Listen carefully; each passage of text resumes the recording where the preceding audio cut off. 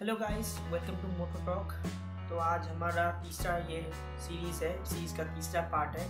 तो आज हम इसमें बात करेंगे यामा के नया जो एफ़ फिफ्टीन लॉन्च हुआ है, उसके बारे में।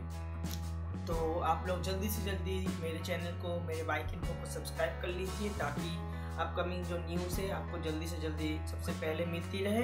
तो चैनल को लाइक कीजिए शेयर कीजिए सब्सक्राइब कीजिए। ठीक है? तो चलिए चलते हैं आज के टॉपिक में। तो आज का टॉपिक है यामा का एल टी फिफ्टीन तो जो बाहर की जो कंट्रीज़ है उसमें पहले ही लॉन्च हो गया था, लेकिन इंडिया के लिए आज ही ऑफिशियली लॉन्च हुआ है।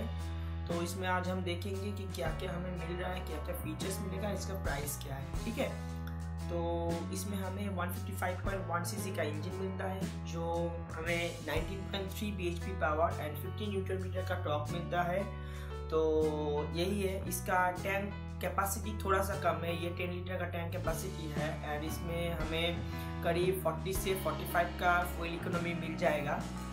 तो इसमें हमें सी जैक मिलेगा 810 एम जैसा कि R one five version three में मिलता है एंड इसका जो एलईडी हेडलाइट होगा, वो एलईडी होगा, जो अच्छा नाइट विजिबिलिटी देगा एंड इसका जो इंस्ट्रूमेंट क्लस्टर होगा फुल्ली डिजिटल होगा, जैसा कि हमें आर फिफ्टीन वर्षन थ्री में मिलता है। तो it has been expected that कि हमें ये ट्वेल्व चैनल ए सिस्टम में मिलेगा। तो इसका जो फ्रंट डिस्क है, वो 280 एट्टी mm का डिस्क डायमीटर का डिस्क है एंड बैक में जो है, वो 220 mm का डायमीटर का डिस्क है।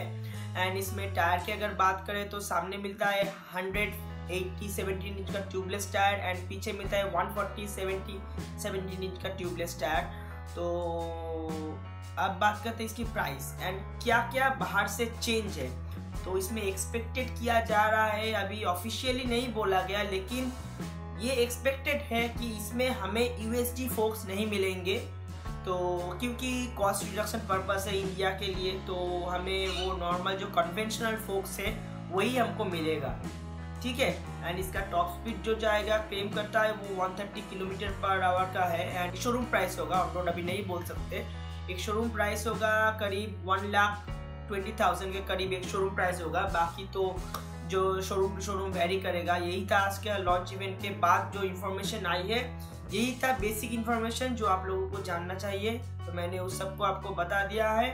तो आप लोग वीडियो में बने रहिए। नेक्स्ट वीडियो का वेट कीजिए। नेक्स्ट वीडियो में हम जो यामा का एफ़ जी वर्जन थ्री निकला, निकलेगा, उसके बारे में बात करेंगे। तो स्टे कनेक्टेड मेरे चैनल में। वीडियो को लाइक कीजिए शेयर कीजिए सब्सक्राइब कीजिए। Thank you